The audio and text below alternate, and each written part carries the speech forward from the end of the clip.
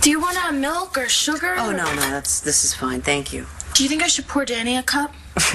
With how long she takes in the shower, we'll be lucky to get her registered at Llanview High in time to graduate. Oh, yeah. I've noticed that. She hasn't been too much trouble, has she? oh, no, no. It's been fun.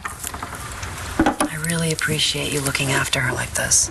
Must not be easy. Suddenly finding out Todd Manning is your father. You should know you've had a lifetime of experience. So have you. so you said he's not doing well? Todd had a nightmare about Mitch. My dad had a dream that Mitch killed you and Dani? Yeah.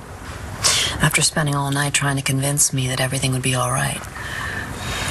I guess he was just trying to convince himself. Mitch can really get in your head. I ran into him on my birthday. You did? Mm-hmm. Cole took me to the mall to spend my dad's check, and he was preaching there. At the mall? No, actually, at the coffee shop. He was looking for followers for his flock or something like that, and Cole sort of got into it with him. What do you mean? He attacked him? Kinda. Well, he really wanted to. Yeah.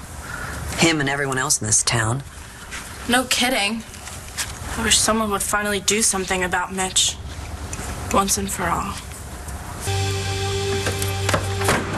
Dani's almost ready. Picking out a new outfit, no doubt. Actually, we have it narrowed down to three choices. 3 Mm-hmm. You're a miracle worker. I kind of like being her fashion consultant. And I like helping her too. I'm sorry I kept your sister from you for so long.